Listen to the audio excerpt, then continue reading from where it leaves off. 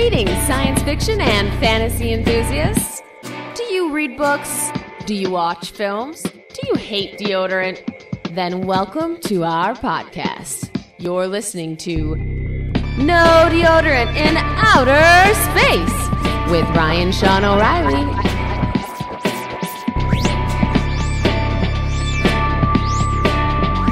Now, let's get started. Suppose, Joh Fredersen went on, that I need my secretary's pencils to check American stock exchange reports? The index tables of Rotwang's Transocean trumpets are a hundred times more reliable and swift than clerks' brains and hands. But by the accuracy of the machine, I can measure the accuracy of the men. By the breath of machine, the lungs of the men who compete with her. And the man you just dismissed, and who is doomed for to be dismissed by you, Father, means going down, down, down. He lost his breath, didn't he? Yes. Because he was a man and not a machine. Because he denied his humanity before the machine.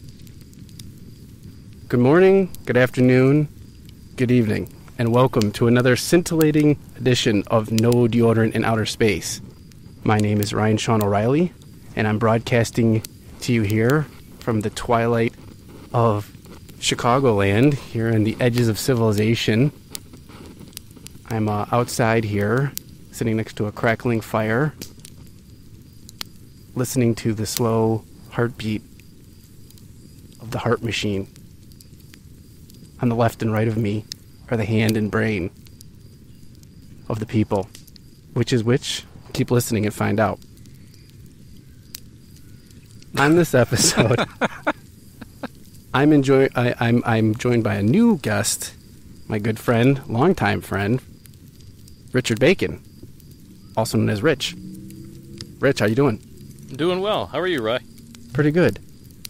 Rich, you're a new guest to the podcast, and I've known you for a long time, like I just said, uh, and I've always known you to be a big fan of science fiction and fantasy. I can remember, I can recall uh, uh, chilling out of my my parents' house late at night when Jurassic Park came out, and uh, Steven Spielberg had just mastered uh, CGI and and uh, did all this stuff with dinosaurs. And we talked about how it would be cool for them to make Lord of the Rings. And now that they did Jurassic Park, Lord of the Rings seemed uh, surely possible. And here we are, many years later, and they've done it.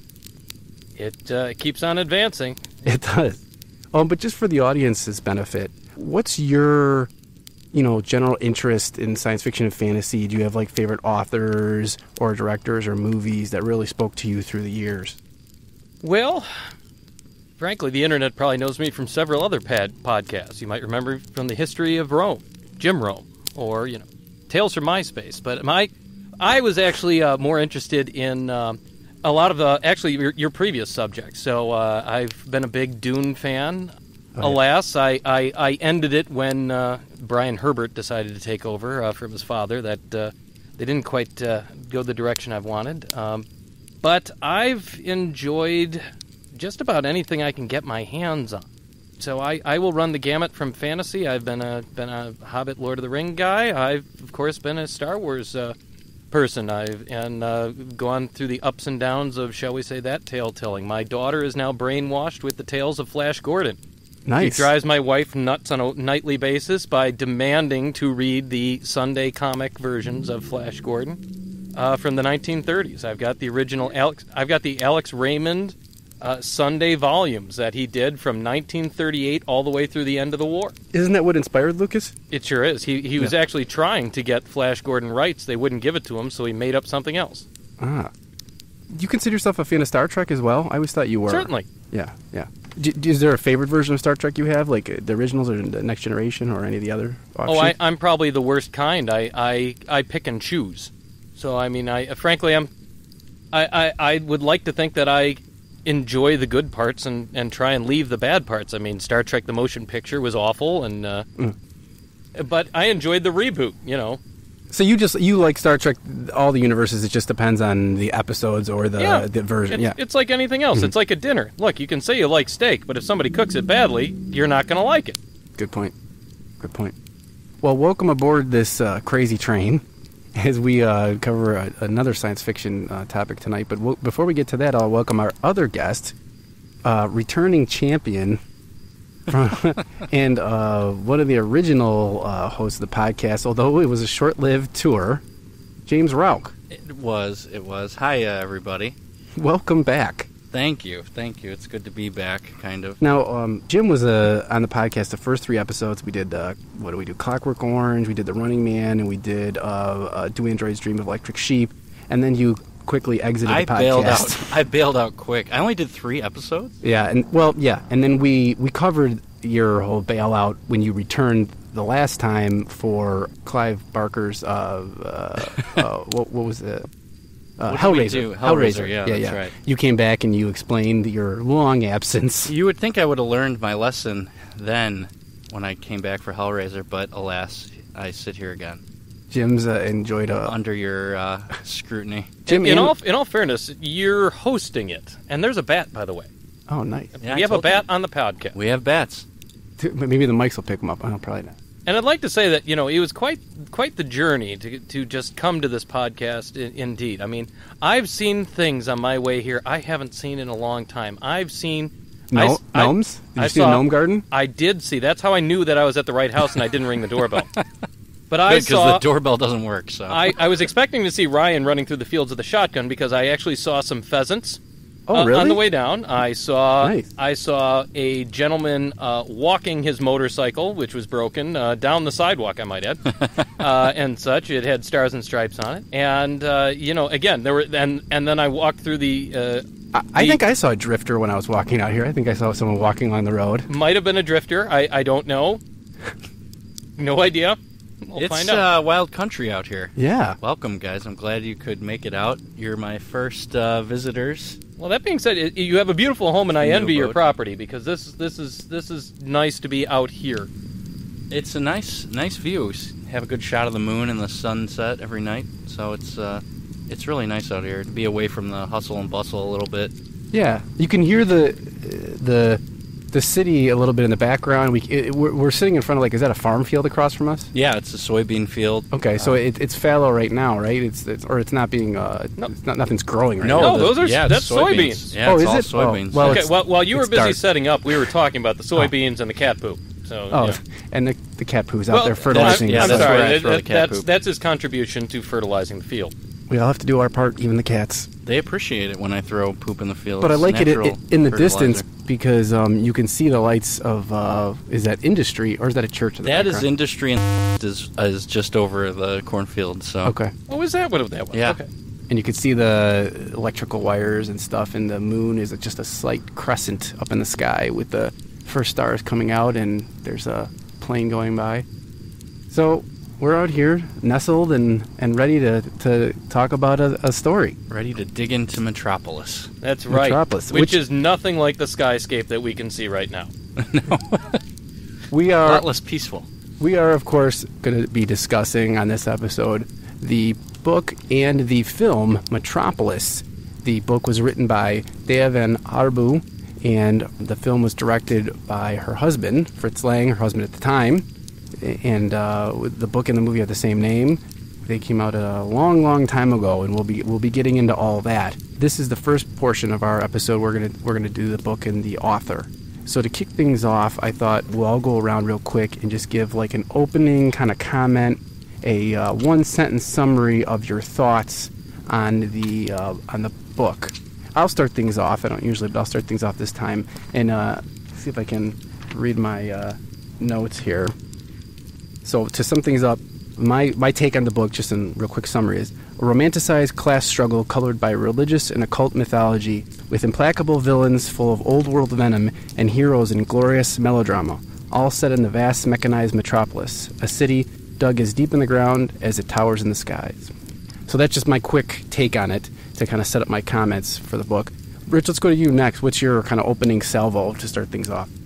I decided that I was going to cut away all of the extra jute from this and cut down to what the real story is. And my argument is that the real story here is revenge. And the real plot of this book is that Rotwing, Wang, whatever, wants vengeance on the two men who stole the love of his life. One hmm. stole one stole her heart, and the other stole her life. And everything else around it is window dressing. It's one heck of a window dressing, but that is that is the real plot of this book, and that is going to be my argument for, for this. But because it's an argument, man. It's already an argument. It's, an argument. It's I'm ar- taking it there. But it's, it's already our. uh, you know what? This book, it was so. There's so much going on in this book. All right, let me so let me stop you there. Where I think you passed your one sentence summary. Let me count. No, I got I got a lot of commas. Well, you'll get you'll get it's to written down here. We'll get to the rest. Beam to you. I, I know you struggle with this. It's just it, just sum up your thoughts really quick on uh, on the book. Well, uh, melodrama. It's kind of a, a word that you threw out there. I didn't write down any notes. I'm gonna kind of wing it tonight. We love it when you do. It's uh, it was a very over dramatic, uh, almost theatrical book in a lot of ways. That uh, this, the the style of the writing, the verbosity of it was almost like just intimidating to me. I uh, I think it was more a product of the country of Germany at that time. The depression was fierce, and I think the working man was was just getting their ass kicked basically. And it was a I think it was a hero story. I, I don't think it was so much revenge. I, I didn't read it like that. I read it almost as like a as like a hero story as you know a mediator was uh, was born and and somehow came in between the hearts or not it became the heart of the the brain and the hands and I, I don't know I I didn't really enjoy reading it I'm not gonna lie All right, let me stop you there on that little fun tidbit. as uh, I'll get into it more later as Oh, the sure. He does three or four sentences. He doesn't get a comment. as the machine growls above us and beckons us into the story. So let's let's just move on to the discussion on the uh, author, the biography uh, portion of the show, and then we can get into the book and, and, and everyone's different uh, views on it.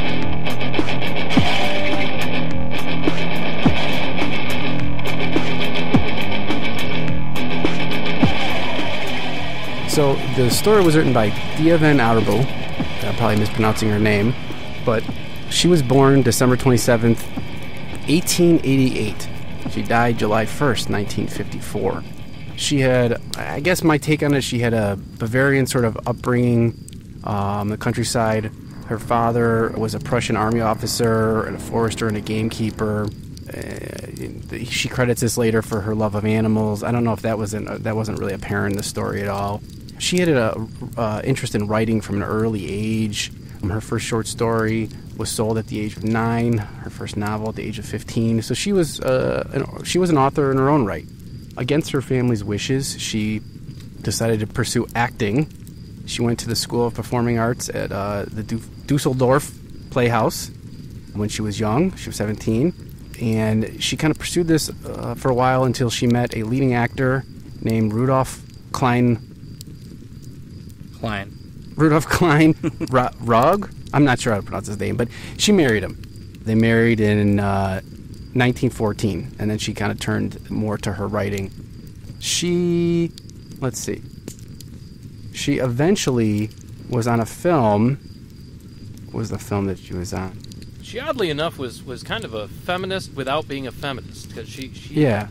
She she was against. Uh, she, pardon me. She was for abortion. She was for, but she was quote. There was a famous quote from her about yeah being pro-abortion. and and such because men can't understand the burden of actually you know the pains of childbirth and the and the cost of actually raising the, the children and such but it was it was making sure that that you know men shouldn't be aren't in a position to understand it and therefore should not be regulating and, which was an interesting uh, especially viewpoint where she was pushing that because this was this was in the 30s and I mean that's uh, in Well, yeah, my understanding, she, uh, that's a, that's an odd odd thing to do. But I mean, you know, we're talking about a, a, woman. She published over forty books. I mean, you know, Yeah.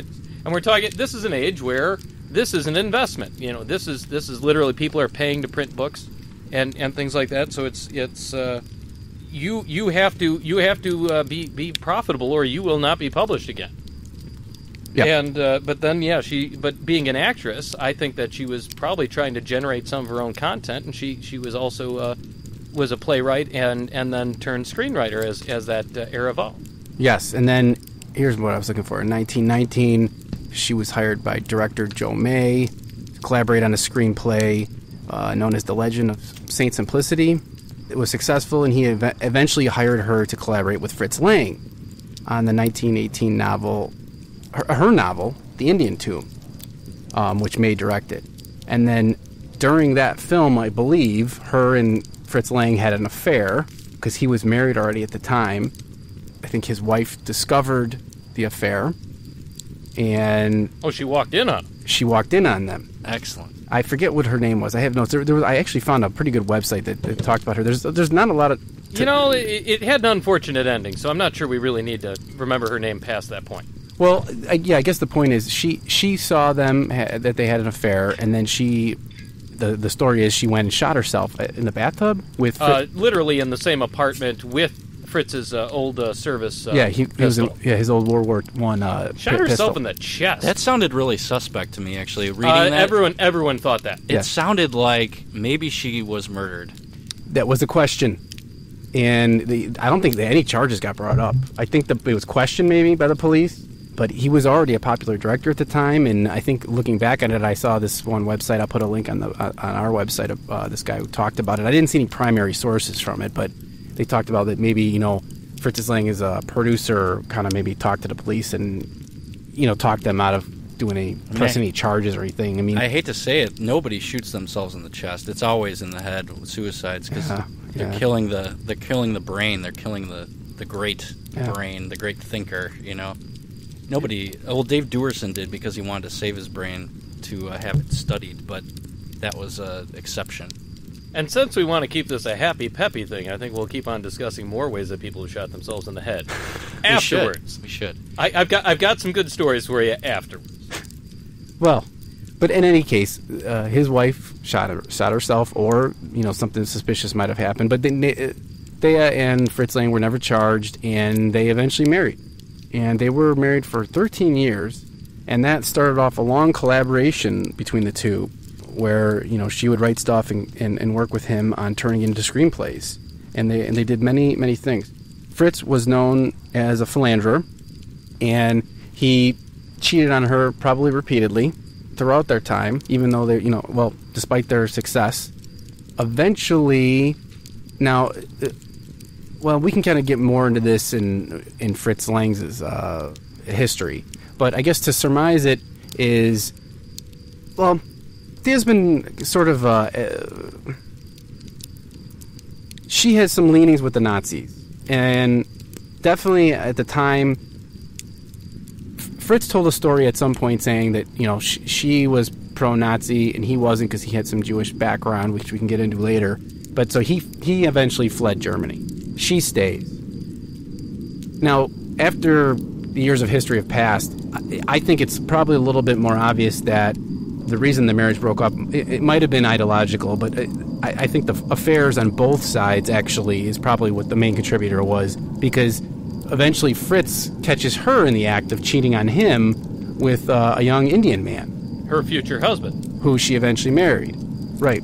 Oddly enough, one of uh, Fritz's and her uh, her commonalities were their uh, adoration of Indian cultures. So- Yes, and they collaborated on uh, screenplays and movies about India. Uh, they had a bunch of movies related to that. I believe there's actually some that are played uh, every day on, on a holiday in Germany. It, Oh, really? it- I believe they did a Dr. remake. of- Mabuse? There's there's two of them, and I, and I, I there's like a part one and a part two, and, and Yeah. I believe they're that popular. But anyway, Yeah, and I think one of them they might be like four or five hours long or something. They, they had some really long movies in there. well, man, if you let that guy let people talk, I, I believe that it would be them. So Fritz discovered her in bed shortly after they they divorced. She marries uh, the young Indian gentleman who was, I think, a Gandhi uh, sympathizer. Now, so people bring Gandhi sympathizer. well, well, people bring that up as, as everyone a, loves Gandhi. a counterpoint to her being a Not Nazi. the British. She she uh, she married this Indian guy when which you know the Nazis in theory wouldn't be for. I believe it was a secret marriage in their Oh, regard. Yeah, right, right. But I, I- I also read that I don't know if you know about this, Rich, that uh, that the uh, some movements in India might have um, been pro Germany, pro the Nazis, because they were in theory maybe going to get some support from the Nazis uh, in, against the British. Okay. I I didn't really look into that a lot, but I don't know. There, so there might be some some leanings and you know why there was a connection. But anyways, she married that guy. Fritz took off for for eventually for America, and she stayed put. She worked on some some movies after Fritz left. She described her work mostly as a scenarist. I think she directed maybe two movies. And I think the movies started to get more propagandist, obviously, because the, the Nazi powers rose at that point. And eventually, we know we know what happened with the World War II, and she ended up in a British prison camp. And she- Really? yeah. She was eventually cleared and quote unquote denazified of of her uh, I would love to know that process. of any of her Nazi leanings, and she was allowed to, you know, return to, to film and stuff like that. But it, I think history hasn't really looked kindly to her as much as Fritz Lang, or well, you know, he's controversial in his own right. But you know, there's not much more about her, and I wonder if her staying in Germany, G- Germany, kind of tainted her uh, reputation, you know, for history. She um, eventually, she died. What did she die of? dysentery. Uh, she died On the at Oregon Trail. She died on July 1st, uh, 1954, after she fell and suffered a hip injury. Yeah, she was giving a talk, I think. All right. And I, I did see one anecdote saying that in the even in the 50s, in her room, in apartment, I don't. I, I again didn't see a primary source for this, but there was a, allegedly a picture of Hitler and a picture of Gandhi in her room. Really? That's an Yeah. odd combo. Yeah, I don't know, you know, if that's 100% true and and, and, and, and, and why. I mean, it would have been in the 50s, it would have been after everything. So, I, I don't know. She she stuck around with Germany. She and I think she paid the price for it. She you know she did marry an Indian gentleman. I think that it does uh, lay some credence uh, against her being a complete Nazi sympathizer. As I mean, I listen to some podcasts, and people will totally just dismiss her and say, "Well, she was a Nazi sympathizer," and that's pretty much all they say about her. I, I, I believe she's probably was more complicated than that. Well, tru- I'm sure she think- was. I'm sure she was. I mean, back in the 30s, the Nazis were just a political party. They weren't the evil that you know destroyed the world. So it's it's it's a step by step process. It's a, slow progression towards you know the horror Well- that everyone knows now. She chose to stay there. She didn't leave like Fritz. But you know, their marriage had other problems. Besides that, you know, with the, the infidelities, go rampant infidelities on both sides. So, you know, I, she she probably had some sympathies for the Nazis, but I don't. I, I think that, you know, she was probably just a complicated person, and she got swept up in things. Oh, I I'm w- sure. I wish her writing was a bit more complicated. It might have made it more interesting. Yeah. I don't know if it could have been much more complicated. Well, it didn't get anywhere. Fr- I I will say this: Fritz Lang eventually, and I know we're not getting into him too much, but he eventually, I think, when his biography was done, he had the author tone down stuff about her being a Nazi, and he, he seemed to look more fondly about their past marriage, even though it was years. Bef- you know, he died later after her, but um, I think he also felt she got like a short shrift by history with, uh, you know, accused of her, being a big Nazi sympathizer. So, I mean, that's pretty much what I have to say about her. I don't know if you guys have anything else to, to talk about her as far as her biography. One thing I was reading that was it. It seemed like she was a, a woman of conflict, almost like there were. It was like there was a huge disparity between the different aspects of her personality. Like she was a Nazi sympathizer, and yet she loved animals. And there was this, you know, and she she was like a anti-feminist, and she didn't agree with the idea that women should be should should step out of their place in a way to like demonstrate themselves but yet she was an author and it was there was just a And she was pro-abortion. and there was just such a huge gap between the the points of interest or the points of I guess Yeah, I saw that she was described as more of like a housefrau, yeah it, and she was there were stories about her on set being very kind and bring, bringing food to people. yeah, she- She, wasn't she bringing made- food. She was running the. She basically ran the kitchen. yeah she, was she feeding ran the as- kitchen as- and as she you cut potatoes earlier, and uh, Jim, as you mentioned earlier, the um, uh, you know, not only the depression is going on, but the punishment of the of the German country by the Treaty of Versailles. I mean, like we're talking about the 20s. So during the 20s, the Germans were in depression because of the the oppressive uh, payments that they had to do, the punishment. Uh, As a result of- and the after Uh, World the War One. country was World suffering miserably. Oh, it yes, was and- and it was they- beyond anything, almost beyond what we experienced in the 30s. It was True, but we the- need to make sure the audience shambles. the audience doesn't always know that that was going on in the 20s compared to when we talk about the depression of the 30s. So it well, was no, almost an because so much attention gets paid to what the Nazis did and the horrors that they sort of put on the world that you forget about the place they were in the 20s and 30s that allowed that led up to that. that allowed that party to come into power. That the country was just in total disarray, and Mhm. it had to have been almost a conflict of interest for a lot of people because you want to support your country doing better, and yet the methods and the ways that they were employing to gain sort of a more of a foothold in the the world's politics were turned out to be such a, just a shitty thing that it's it's almost like you forget how the little steps along the way that that got that got them there. so you think like you're saying that maybe she got swept up in, in all Oh, that. for sure. I Mhm. mean, to uh, to be a part of a society that is just like rubble, and then to to see things being built and improvements being made, you almost would tend to ignore the the sort of the racial undertones of it and the Well, just the you know, keep, Yeah. keep in mind the Allies did not advance into Germany with the trench warfare. You know, it, it, it, it, it ended on the on the the Western Front, never ended back into the country. So I mean, it, it was it was not as devastated as it was during the Second World War, but it was devastated economically by mm-hmm. the punitive measures of of the Treaty of Versailles, and and that set up it, where where we're at, and that's it was it was the it was really devastating economic punishment because they literally had to pay penalty fees to everyone else. Right. And you know we could go into how that actually backed up to the Franco-Prussian War of 1870 because they the the Frank when the when the Prussians basically took over well they, they beat France they did punishment ties so it was this for that but it turned out that France did that to the Prussians back in 1810 or 1807 anyway it, it, it's a long history mm-hmm. whatever blah blah blah but Rich was a history major. You know, it, it's it, it's. But it, the point is that during the twenties it was bad. But she actually lobbied the studios to pay to feed the crew. So I mean, like Yeah. she was And actually she lobbied It was for them- humanitarian in that effort. You know, Yeah. it's not necessarily that she was She being was motherly. She wanted she wanted the people. people. to eat. Yes.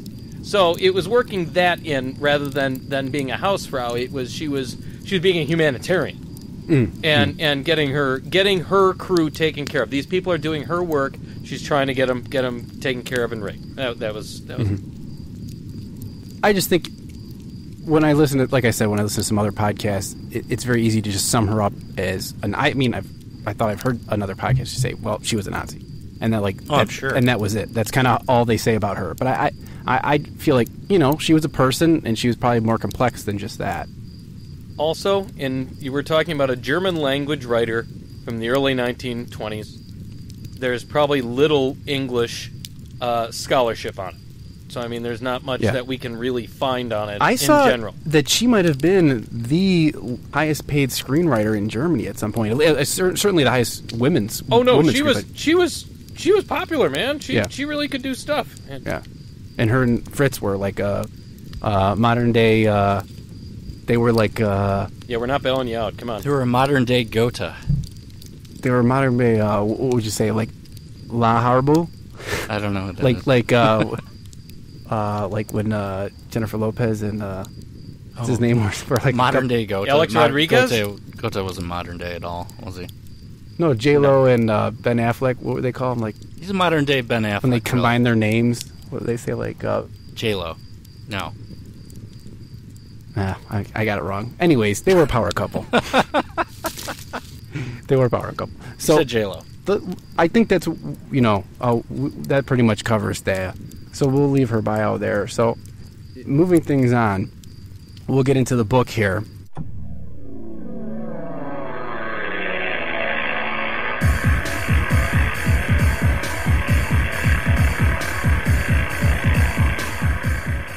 The book was written by her. It was called Metropolis. When it first came out, it was serialized in a, uh, a magazine called, Il- I don't know the German pronunciation of this, it's called Illustrated Blatt, which means illustrated sheet. That came out in 1925. I believe the novel came out in 26. But they did the serialization first. A lot of stuff was serialized back then. That was a long time ago. It was a very long time ago. True, but it might have it might have actually increased their circulation to do it that way. I mean, it, again, it's it's it's a cheaper mode of publication. It might reach more people by doing it. And Well, and they were serializing a lot of things back then. I mean, serializing things in magazines. I mean, uh, The Gutenberg Bible, for example. well, the pulp, the whole pulp movement, and uh, you know, like Conan and all that stuff was serialized first, and and all that.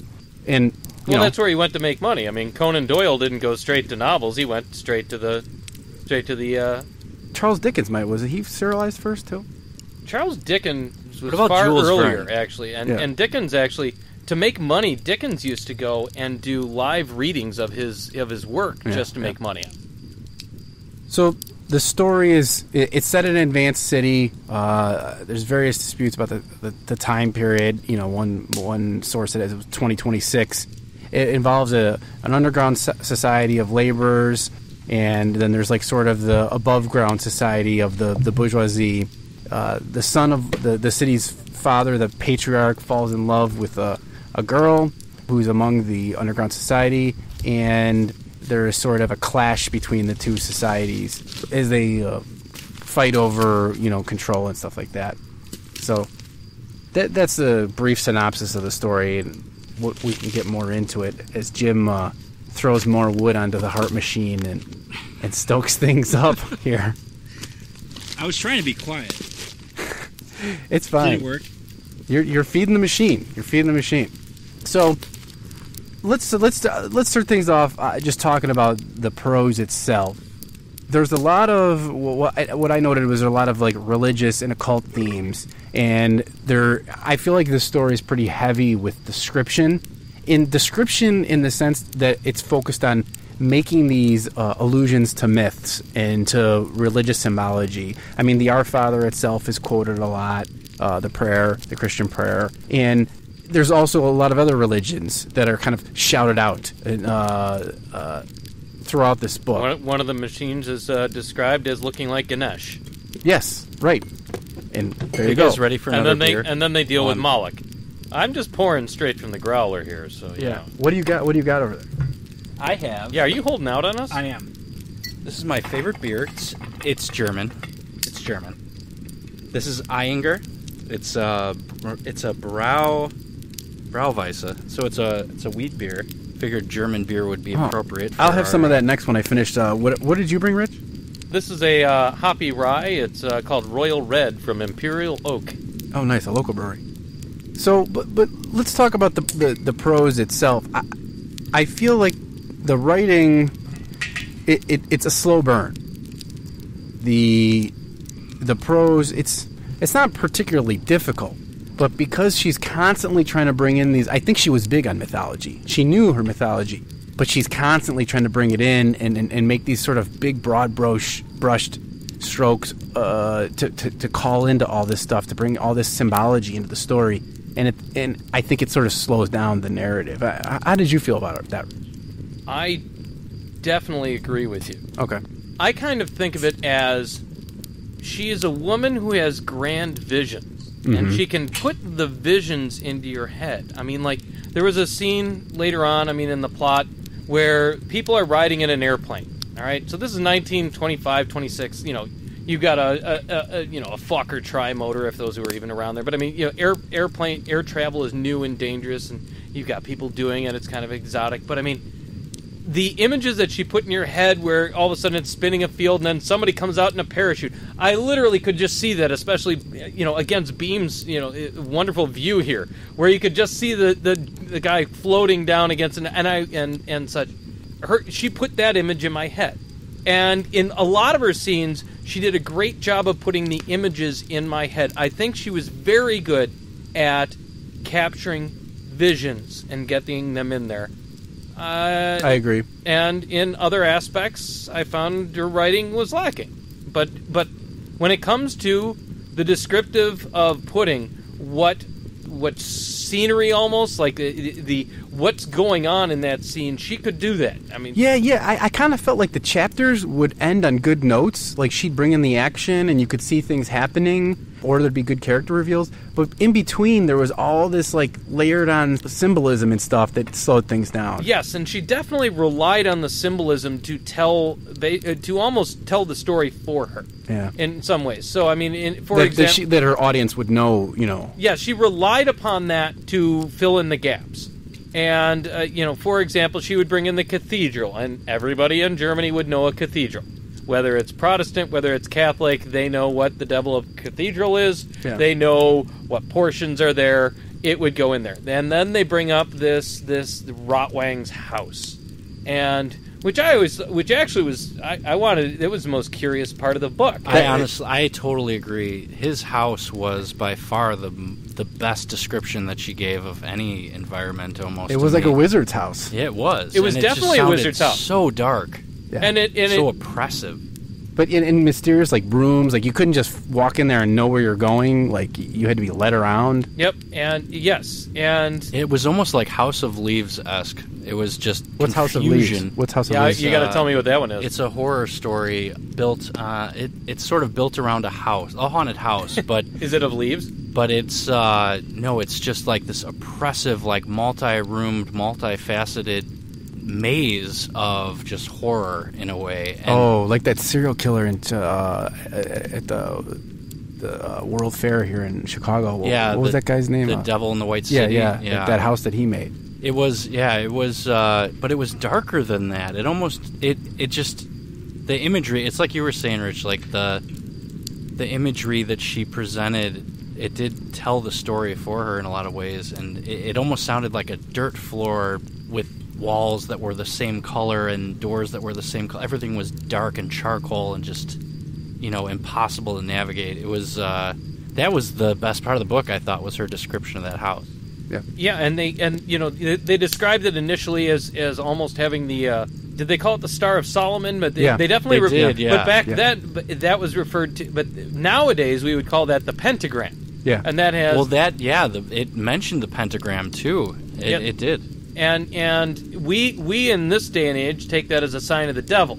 And but back in that period, it was also it was almost the Star of Solomon, and that had different legends that people were more associated with it back at that point in time. Because Oh, that's true. Yeah, the Jewish history almost. I mean, I didn't I'll tell you about what. I, I I did not enjoy this book. I mean, I got to be honest. But she does stuff well, and I and I don't want to begrudge her uh, that. And what she does well is setting that scenery. And you know what it really reminded me of, and I don't know whether either of you two uh, have read any of them, is a Mike Mignola Hellboy book. Oh I no, mean- No. I saw the mo- the movie. The Oh del no no no. Uh, gentlemen! I've got, I've got I've I I need to get you to to review some of them. That man knows horror, and he's he's a scholar on it. And I mean, you know, he can set he can they're comic books, but he goes back to the the folklore and he does his homework and does all of it. And that's actually why I Isn't that not wasn't Hellboy found during uh after World War II or during World War II? well, he's a fictional character, but yes, he was found during World War II. I know he's Um, I know he's fiction. But but what they did was uh, the genius of, uh, as far as I was concerned, is they inserted the demon as a as an occult investigator. And we don't want to get too deep into this, but what I'm trying to say is, I consider Mike Mignola to really be a a good. I mean, uh, uh, uh, he really can sculpt scenes. He, I mean, that man can shape images and such. And this woman made me feel like I was in one of those those uh, Oh. uh, books, and I cannot give a higher compliment than that in in that terms, especially when we're talking about Rotwang's house, because that really is what it made me feel like. Yeah. Yeah, that was uh, that was by far the most interesting part of the book to me too. Was the description of that house was it was just so oppressive. What about the the dialogue? I, I guess I felt like the di- that was where the mellow, you know, drama was mostly at in the dialogue. It, it felt akin to maybe a film from that time when I read it. I Uh, didn't it like the dialogue. It was I- more stilted. it's it's dated. It's yeah, uh, yeah. and and that It goes was probably not into the- even. It probably film. It probably was not even natural for the time. It was though. That's the interesting thing. I mean, a lot of You think uh, people talked like the a way she, she stories wrote it? back then were were written to uh, like if if you go back historically and look at books and film pre uh, Birds, like pre Hitchcock, pre Marlon Brando. That's where we're, we're Uh, definitely that. We're pre yeah, all that. Well, well, those guys changed the way that stories were told, and we relate to that now because that's the way everything is told now. But back then, stories were told in such a way that you could step in in the middle, and and even movie theaters didn't they didn't start movies at the beginning and then run to the end. Hitchcock changed that. Stories at back in the 20s and 30s were designed because movie theaters and the way the way that movies were shown back in the 20s and 30s uh, were such that they were run from start to finish, then start to finish, start to finish, and people were allowed to walk in in the middle, and they were sort of encouraged to then sit through and see what they missed when it started over because the films ran for 12 hours straight and there was no start time or finish time so that I think what you're trying to say is that it was kind of like walking into your living room with the TV on, and basically it just kept on that's going. the, yeah that's the way films were shown. There was no like you have to be at the movie at 8 o'clock you and the movie will be done at 10 like you are supposed to show up when you can and and then you'll see what how it started if you miss the first half. Like the the dialogue is is very disjointed and uh, it's just different. It's it's totally different from what we're used to, Uh, yeah. which was a problem It's for me. not. It's not very natural It's not. sounding. I think it's more akin to like plays. oh, it's very theatrical, yeah, and yeah, it, it is totally. You agree, Rich? Yeah, I, I found it. I mean, in all fairness, I do not know whether to attribute that to the translation. yeah, that's a good um, point. You know, because Well, we see, I don't think it was the translation because if you if you read like like Goethe is a perfect example, and things that were translated from German into English, there's a pretty solid translation that. But, but, uh, but this people- woman has not been very studied. This this translation we read is uh, uh, the version I bought. The, And it's from the 20s. yeah, it's from the from the the twenties. There's a newer translation that got bad reviews on Amazon. It looked like someone just did it on their own. With it's not like a publishing house. But like I mean, you know, we covered Jules Verne on this podcast. I know he's suffered from some bad translation. And you, you've actually told me, and I've, I've got to go back and, and actually try some of those because you uh, the what you sent me was basically communicating that oh my lord, like they they butchered this thing. Yeah. and and, Yeah. and I've So- I found Jules Verne a struggle to get through, so I could Yeah. believe that. Yeah. So I don't know if if this is a good translation or not, and I don't think she's popular enough for for scholars to really look at it and say that. But you know, Time moves on, I suppose. yeah, it is what it is, I guess. Like Rich said, it keeps moving. Yeah. Well, s- translations aside, since we don't really know about that, another thing I noted is, uh, and I was talking about to Rich about this earlier, is I felt like there was a lot of classic kind of you know myth mythological story conflicts in this. There's star-crossed lovers. There's there's a I call it I, I don't have the right term for this. I call it the old switcheroo, where where you have the the the city's patriarch's son switch places with a worker, change clothes, and takes his place. There's the the son against the father. There's It's the like trading places, the trading modern places. day tra- trading places. There's the jilted lover. There's a Messiah savior prophecy.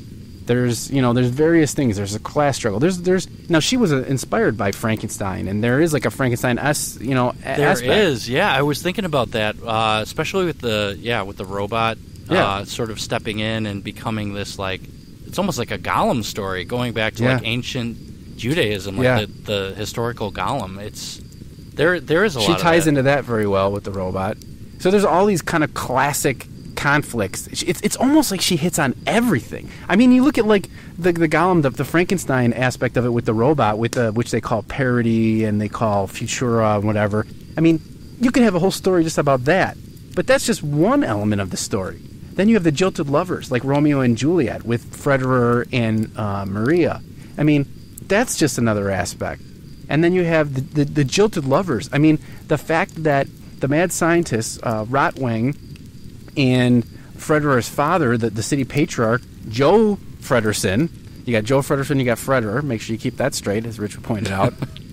I got confused reading it. gonna I, I thought that that was very interesting that she had all these depths because the the fact that the the mad scientist and the city father they have a real conflict between them. They, they somehow are still working together to run the city, they clucked their beards. but but the, And say what's to be done with this Homer Simpson.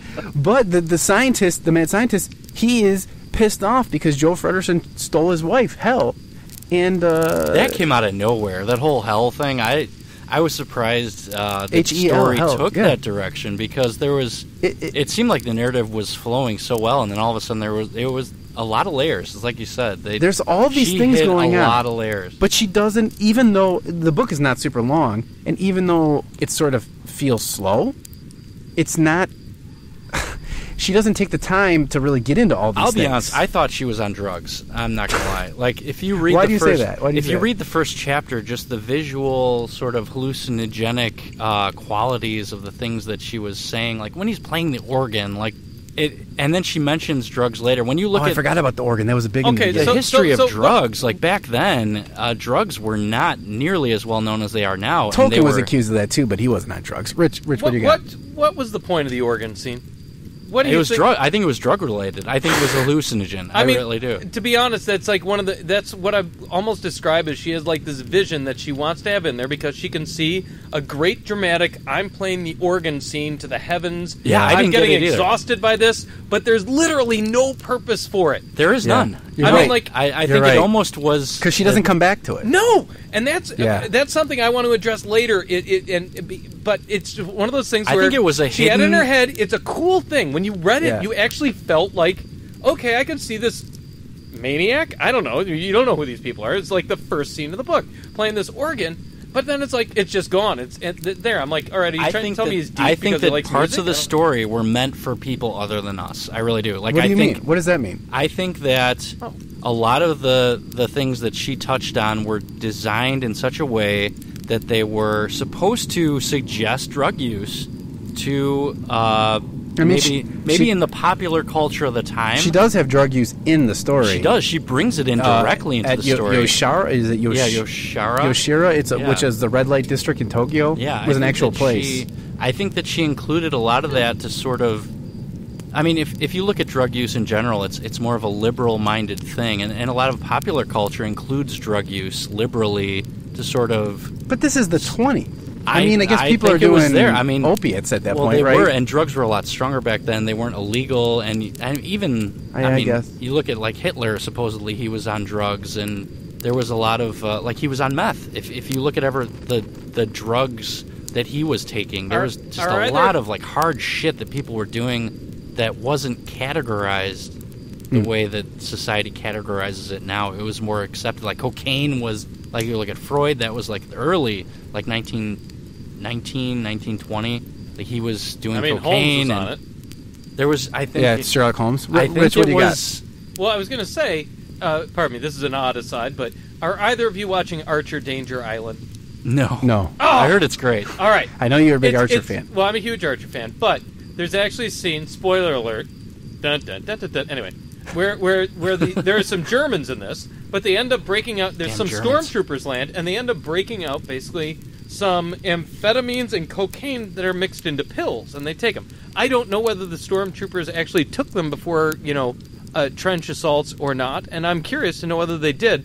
And and in one case, they had Cyril basically mash him down into a into a powder and then snort it. Then basically goes crazy. But I'm actually curious as whether they did. You mentioned that that Hitler was was doing X Y Z. I was just wondering. I, I, I'm not sure. You know how prevalent that is. You know, you I think it was very prevalent back then. Well, and I okay, think a lot of her But let's. I'm not sure. We, we can't prove the drug use. I, so, I don't yeah. think. Okay, maybe I, she definitely has drug use in the story. I mean, in the Yushara district, in the the Club of Sons or whatever. There's they, she mentions uh, some drug. I can't remember the name of it, but t- to me, okay, I'll give you the drug use, but the drug use is just like one more thing, along with all these other elements I'm talking I about. I think it was an identifier to popular culture at the time. Yeah, to but I- to bring me- the story into their realm. Yeah, but but to me, okay, fine. But it to me, it's just like one more thing she just dumps on this garbage heap of mythology and symbols. another layer. Uh, yeah, but yes, but it's not It's not it's not- important. It's not,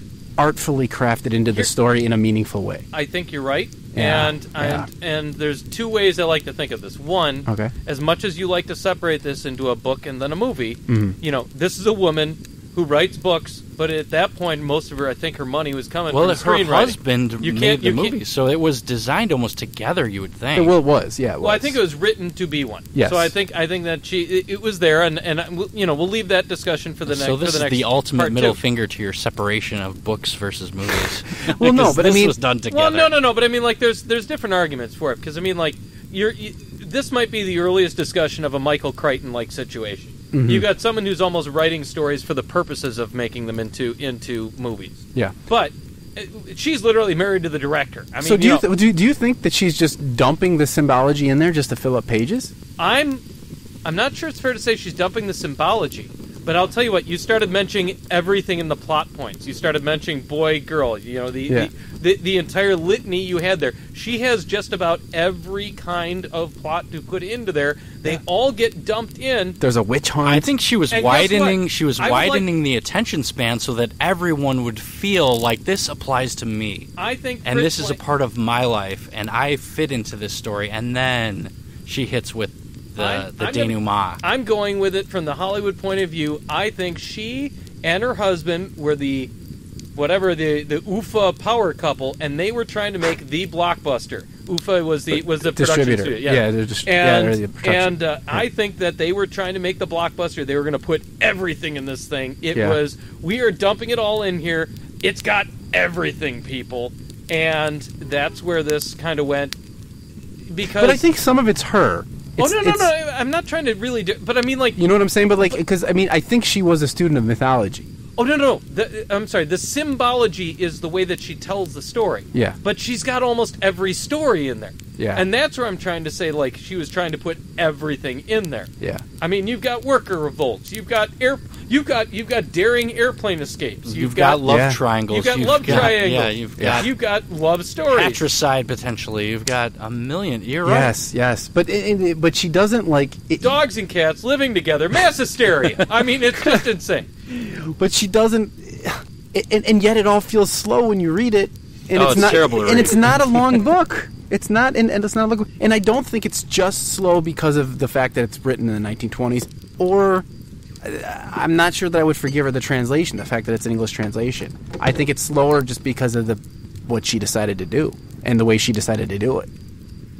That's story structure, but I mean, like a- Yeah. as you were kind of pointing out, it, it's she tried to make a stew. You know what? She had Yeah. all Right, these different yes. plot points, and sometimes you make stew and everything comes together and it's great. And sometimes you make stew and it's just a bunch of different stuff in a pot and it is not working.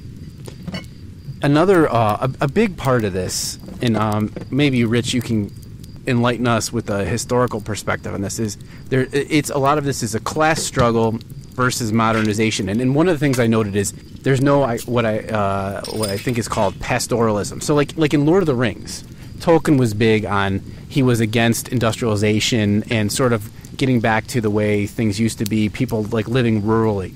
That struggle is not it's not present in this story. It, It's- there's there's a right, modern- it's really not. There's a modernization, and it is causing problems for people. But the solution is not to be. It's not contrasted with a rural society. There is no rural society in this that we that we see that that, that we speak of. You know, there's a big big division. You have people literally living underground, like what is it Morlocks or whatever, and like H.G. Wells. That or- can I say Oh. that is honestly one of the things I really didn't like about the way that the story is told. The- the Is fact that that there is a total lack of progression. It's like the story starts with this huge like upper tier society versus lower tier society. you got the you got the There's no- bourgeoisie living above ground, and yeah, the there's proletariat's no- living They don't tell you how it happened. She never No. tells you No. what the steps were to create it. My contention is that this novel has fully realized visions. Again, like you've got those scenes that you can You're see, right. But and you can put in your head, but nothing else is realized or even accomplished during the course of No, this book. it's- it's really not. Nothing is. I mean, Nothing even at the end, I think by the end of the book, Freder knows Maria's eye color. That's it. I mean, like it, by the end of it, the worker revolt has not succeeded.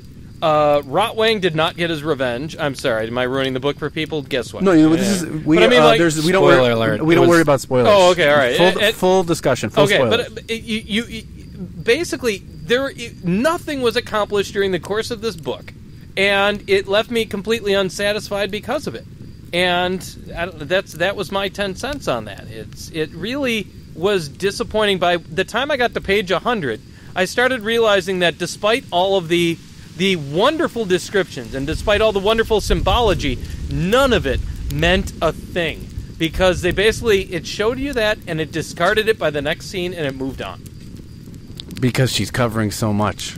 It, well, In, in Ideal wise, in ideal what wise. W- was Well, the book I- 175 pages? Well, she's covering like so much two with these something, yeah. subplots and these uh, these uh, these ideas, these symbols that she's got to throw in, and these co- these these conflicts that she doesn't get real deep All into. right. So what you're saying is you want to blow this out in a full-on miniseries. I got you. You no, flesh no, I'm just out. I'm no, pointing I got it, Ryan. I'm pointing at the f- the failing. I'm pointing Yeah, out the yeah, yeah. failing of it. The class struggle. I, I was uh, I watched a quick video today about you know analyzing this through a Marxist view, and, and the person was even dissatisfied with it, looking at it that way. And, and and I don't know if this is, you know, this is this story is a product of its time, and you have like she, she's wanting to hit on this class struggle. She ultimately concludes that the you know that they're that the workers that there's a there's a conflict between the proletariat and the bourgeoisie, and the bourgeoisie is like the brain, and the proletariat is the hands, and they're always going to be in conflict until a mediator comes forth, the heart, and the heart will bring them together, and that's Freder. What I think is interesting, what I think is really interesting about this story, and I feel like a lot of people did not, in the discussions that I heard in podcasts and videos, did not get into, is you get into this class warfare, right? The very interesting thing about this city is the workers are living underground. And, and go with me here for a minute. The workers are literally working uh, underground, and it's it's almost like like Chicago has a deep deep tunnel system pumping water out of there. These workers are working to feed a machine that pumps water out of the tunnels in city underground where they live. And the workers, they're working to sustain their own like livelihood down there. They're also sort of working towards their own oppression because by living down there, they're sort of oppressed and they're not enjoying the full the full light of the city, like the people who live above, the the privileged people. Okay, the And that was actually when Georgie escaped. Was uh, that was one of the best parts of the book as well? Is when he escaped, just his total failure to be where Freder wanted him to be, because he suddenly saw the light and he Yeah. was like, "Holy shit! I have all this money, I have all this freedom. What do I do with it? I'm going to run in the the the brightest." Light. I'm going to run in the direction moth of the to bright. flames, yeah. Here's, yeah. And Although he, he doesn't straight to burn red- out. He went straight to the red light district. Which, by the way, spent we've all had his no money. moths yet, so I just want you to know. there's no, more, e- despite Rich's headlamp that he's wearing right now. That was one of the best the best parts of the story, in my opinion, because that's exactly what someone would do. If Yeah. you gave a working class person a million dollars, what would they do? In they his would pocket, I go straight to the right red light district and just blow it all on like strippers and coke, yeah. Frederick's like, okay, here, take all this money and my robes and meet me later. and meet me later, and and and, uh, and then uh, uh, the worker's like, yeah, yeah, sounds good, and then he just goes to the strip clubs. That was one of the best parts of the story to me. Like I really, I love that because it's so true. I mean, you just think like, what would you do if you had two million dollars suddenly to spend? You would go straight towards your vices. Like that's, uh, it was like one of the only human aspects of this whole thing to me was the way that Georgie just ran and just went and spent and went nuts. Like I, I love that because it was realistic and in a way that nothing what- else was. And what's the point of? Well, so the so Frederick changes places with him to to be to relate to workers, right. and then he goes against his father, and then he meets Maria. and this dude just has a ton of money that he took his he took his place and, right, right, and he just runs and does what you right. know, but it's what he the- wants Yeah, and I mean, it's it's not it's it's really no big consequence to the story because uh, that guy doesn't really come into play too much later. no right? he, well he he no. comes back in later, but He does, much later. but- But, like, to, but to like what consequence? I, I to what wrote- I- consequence? uh, he came he in. plays at, a at one- part that's the consequence like Didn't he, he? uh, plays a part He didn't That's take a it. bullet, but he did something equivalent during the. Um, Oh, yeah, he's yeah he took a knife Oh, he that does. was what it was. the Thank you. knife. Yes. So he feels bad and he he, he defends Frederer. But it's interesting that Frederer is the savior of the of the workers. Frederer, who is sort of like a noble, and he and he has to come down from the high society and be the one who's going to be the mediator. which I, I don't buy. Yeah. Pardon me. It, it- Yeah. Again, well that was the generic hero story in it, a it was that- it was set up that was the way, art. and I don't believe it for a minute. By the time that book ended, you know what? Maybe I was so fatigued that I just didn't really pick up on it. Even though it's not a long book, It's not, but it it it is really- fatiguing it just reads long. It- but here's but here's the thing. What's the what's the movie with uh, Rosebud? What's that movie? Um, Citizen Kane. Citizen Kane. Okay. Yeah, that one. I, this It's kind of up there with Metropolis, actually. you yeah, know, this when they're story. talking about good movies. This story reminds me of that because the oppression of the workers is sort of focused on Joh Fredersen, Frederer's father, who's the who's the one running the whole city, the brain pan of, at the brain pan of the city. He is the brain of the city. He's like an obsessive guy. Okay, he, he, he he's not really about vices. He, he, Joh Fredersen is not really even enjoying the the big city life. he's all about he seemed power. But he's not even a big about power. He's he's about feeding his own obsession of just running the city. It's just Actually, power. what- it's his- his pure one power. Comment, one comment when he said when he fired Josephat was that Josephat's His crime- secretary, his yeah. secretary, was that Josephat did not enjoy the work. Anyway, just Yeah. something to So, keep in yeah, mind. so, so That's so, what I think Hitler probably liked about it. Is was that moment? I, I don't know. That's just my opinion. Like Are you kidding me? I, oh, no, like good, good. Josephat. The the whole We know, Josephat we know thing. Hitler like, liked the movie. We don't know that he liked the book. Anyway. good point.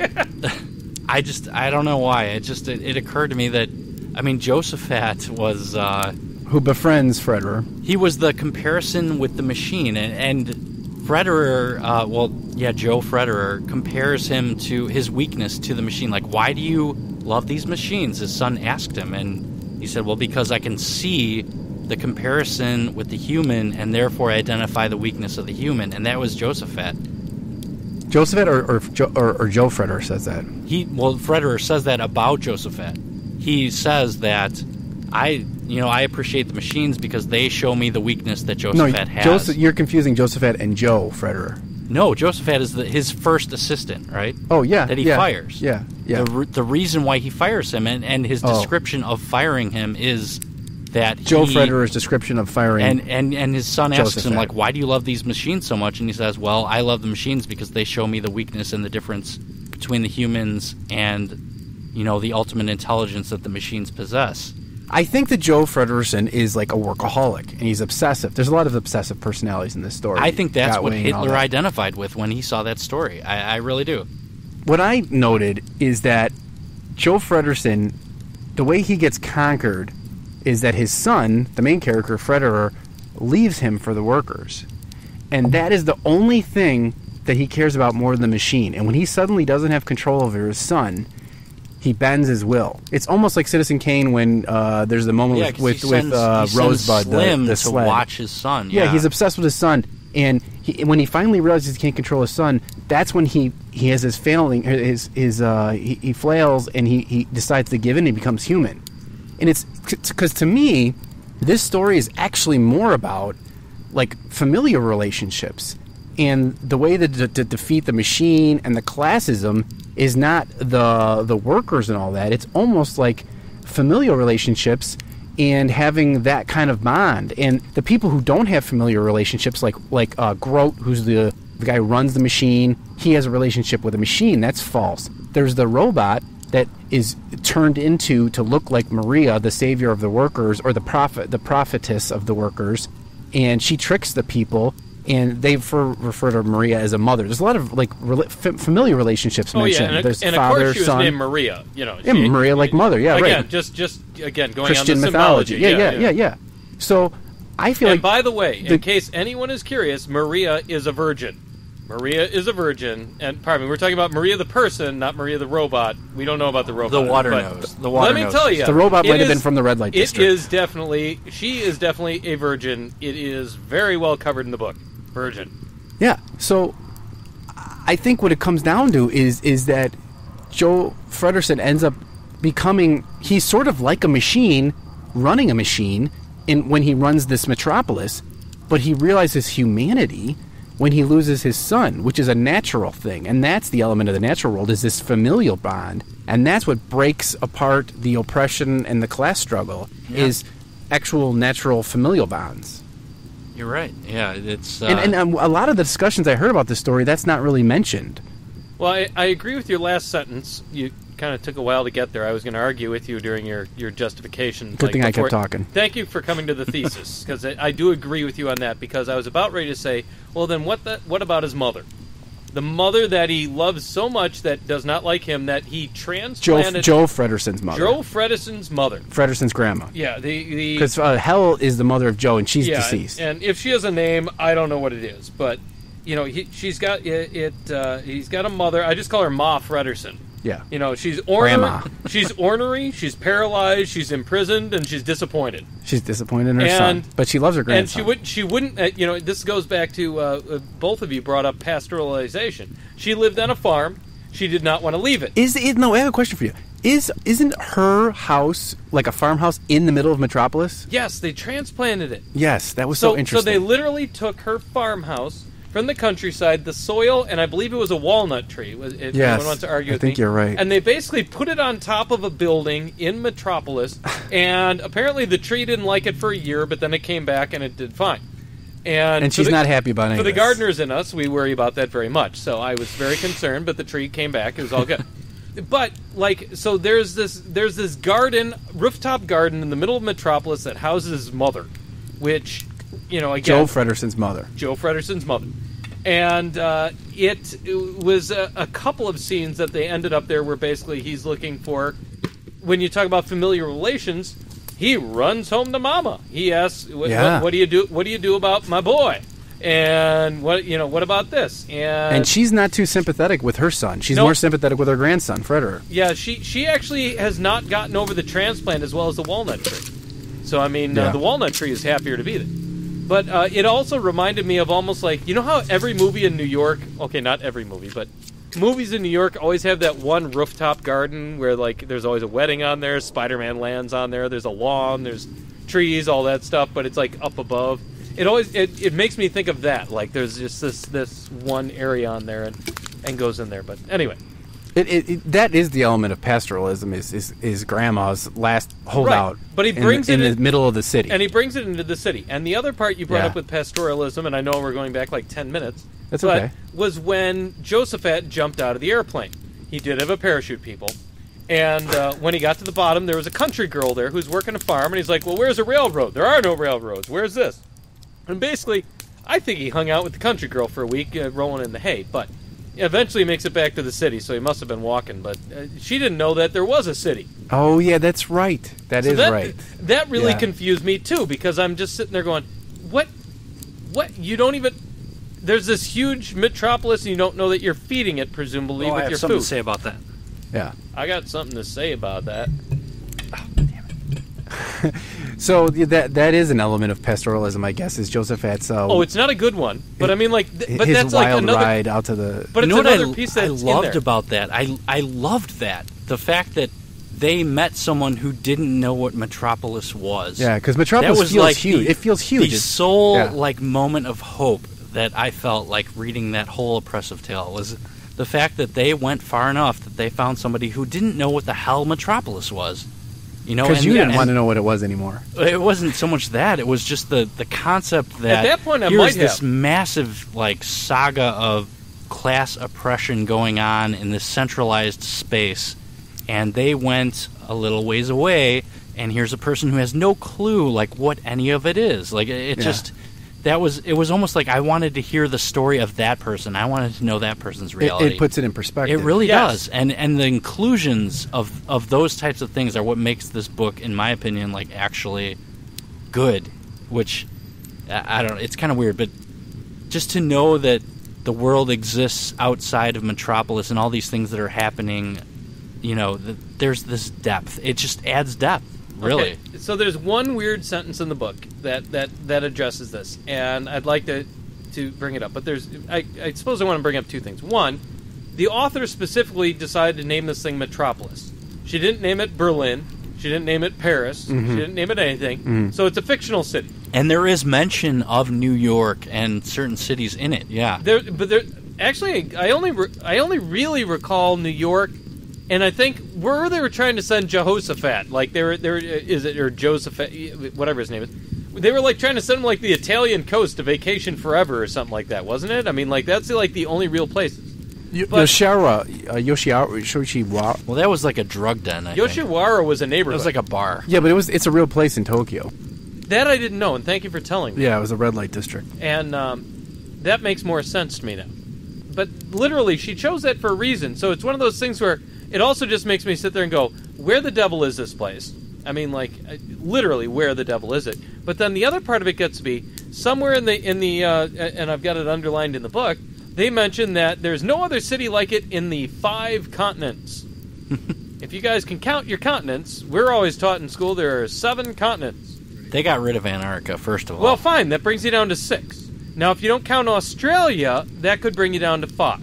But I, I don't know what's taught in the schools there. the question gets to be: Is this a fictional world, and we really shouldn't worry about it? And or maybe. You know what? maybe That- it's historical. I mean, back in the 20s, who knows what the Hey guys, you know, right now somehow we're down to eight planets, despite what I learned in school. And oh wait, we might be back to nine because I don't know. Did they find Yuggoth beyond Pluto? I don't know. Yeah, I guess was that H.P. Lovecraft? yes, thank you. I'm glad somebody got that. But It's a anyway. great, yeah, great reference. there, The Ryan. um, Some she nice work. starts the book off with a quote. It's an I don't know if you call this an epigram or something. It, it says, "This book is not of today or of the future. It tells of no place. It serves no cause, party, or class. It has a moral which grows on the pillar of understanding." Quote: "The mediator between brain and muscle must be the heart." End quote. That's what she starts the book off with. So she doesn't set, I think, a specific time True or enough. place. She tries to say this is its own thing, True enough. which I think is kind of related to what you're saying. Yes, It's like a that's a cop out. No, no, it's not. But I, I- mean, I like, don't- I don't but, think so. But you start, you start sitting there, and you're like, okay, so now all of a sudden, it, sometimes a, a little detail can hook you. And the five continent one got me, and it was just one of those ones where I was just going, should I be thinking of this in the real world, or should I just be thinking of this as the world and go from there? Because, you know, it's like, okay, so wait, after the last war, did Frederick Yeah, I, walk I out? guess into- you're right. It sets did a some- reference point. Is did what someone it does. walk into this field and decide to start building a city, or did he take it over? You know, it's your point earlier. Like, we don't know anything before or after, and that really is annoying because it gives you no frame of reference. Uh, It, it, uh, uh, you know, going along. I with feel like set. this is this story is almost like a fable.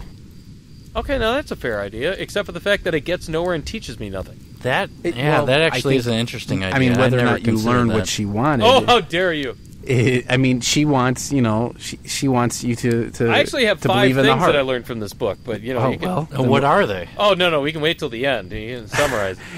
No, no. Let's let's let's hear your five things that you learned. Oh, the five things that I learned from this book? Oh, no problem. Give me a second here. Actually, I'm down to four because one of them apparently should go on the movie podcast. oh, okay. But uh, let's see. Well, actually, we haven't brought up we haven't brought up the Me Too references yet, so I, I really would like to uh, talk about that before we get there. But uh, Wow. you know, uh, pardon I me. have no idea what where that's going. Well, you want to talk about? I don't get the reference there. Would you like to talk about the writing style? I guess, I guess is where I was at. Is uh, th- that comes a little, a little bit later? Is uh, uh, Maybe with the water and the You want to talk about the writing style the- itself? Yeah, Yeah, What, what do you mean? Go Well, ahead. Go ahead. The writing style itself, we all had difficulty with. Yeah, now we don't know whether it was the translation or such. Right. Towards the end of the book, let's just say, kind of the climax. Uh-huh. There is a great flood scene. Now, Yeah. Noah. right. Another. uh, except, another. except for the fact that this flood is from the bottom up, and True. you know, I always found it fascinating that basically they built this great city above ground, but they spent more time building this great city below ground. It takes more work to build something below ground than it does above ground, mm-hmm. and that really just sits. It bothers me because I'm just sitting there going, "Well, why would you waste all that work on the workers? Why wouldn't you just send them further out and make faster transports?" But ignoring that, um, the flood scene in the middle of it, while they're while they're doing it, all of a sudden it switches narrative style and it starts talking from the water's perspective. And the water, I feel like the story got faster. It did end. get faster, but literally the water starts talking. So it, it and it really bothered me the switch in, in narrative style. So it went to an anthropomorph. It anthropomorphized the flood, mm-hmm. and Yeah, you know what? I think she did. Did she do some like head hopping in this? Like, I, in the sense that I think that she didn't just stick with one limited perspective. It might have Hmm. been more of an omniscient It's perspective. another layer. It was generally omniscient, I thought. Yeah, I But- think she but jumps in this around. case, she jumped into the flood, yeah, and the flood, okay. the flood really creeped me out because okay, so this was written by a woman. Okay, the book was written by a woman. Mm-hmm. She's on her second husband. We know that she was, shall we say, uh, active and such. You know, let's not pretend she was virginal and terrified. All right. This is her second marriage. We know she's not a virgin. Yeah, and I, I guess what I'm saying is, instead of the water lusting for Maria, it was lusting to get up to her hips. No one else has held them. I'm lusting to get to Oh, your yeah. breast. You know, shouldn't the water be hungry or something? I, I, Not this water. No, apparently not. and, and I mean, like it, it should be looking to consumer, not make more baby water. And it just really was. It, it really bothered me in that way. That that one scene Maybe really that's did. just one of the feminist aspects of the book that, as men, we couldn't possibly understand. Sure. Well, water I- water is associated It with was a. Pre- I mean, it was associated with probably- drowning in a way. well, I she's mean, probably associating water with like creationist myths, or maybe and, and no, that's what it- she's it wasn't building even on. creationist myths. It's like what. well, that's what I mean. The, it's the- more oppressive. It's like I'm touching your ankles. I'm coming up to your hips that no man has experienced. I'm, yeah. you Yeah, know, thank you. I I- might be I'm reaching saying your it's like- Like, It's like a creepy rapist water, and It I'm like, wait, aren't you trying to? water. Eat, aren't you trying to kill them? What? What do you? Re- I anyway, it bothers And the me. workers, like they contribute to the release of the water, which is their own demise. Oh yeah, no, no, no. I'm bringing it back to the real kind of plot just because bringing we it back to the real. there dude. was no way that we actually knew that was going to happen until they destroyed the thing, and someone goes, "And by doing this, you are now going to be flooding the Undercity, and your children are going to die." And until Yeah. they Yeah, literally it's, it's sat weird. there, and I don't know what it. that water represents. It was. uh I think she's just it's just like another yet Narrative. another mythology she's bringing in. She's bringing in a flood because she's got to bring in everything in, uh, in, in in in mythologies in and not just the Christian mythology. I mean Gilgamesh and stuff. There was a flood. She's trying to bring it all in. It's true, and and he's absolutely right. The the flood is almost universal, uh, not quite universal, but it, it is held by multi religions anyway. Yeah. We, have seen that it has a basis in multiple things. Whether you voice, uh, she's throwing in everything, like you said, like a stew. Like she's throwing everything but the kitchen sink. She's throwing in it all, Yeah. and and I'm just saying that it, it it it started conflicting with each other, and by the end of this thing, you have two. You've got two lovers who don't know their eye colors. You've got revenge that is that's why I said revenge is the storyline because that is the most clear storyline that uh, when when it finally came across could be traced across because it's not a worker revolt it's not a oh I created a robot and now it's revolting against me no you told it to do this it's not a uh, I- it's not a lot of things I, it, it, The it story really- is more about love, conquering all. I think the story is a bunch of visions until it gets to the end. It just ended. Uh, I mean, it, it, it sometimes sometimes things just kind of churn to the end, and, and that's it.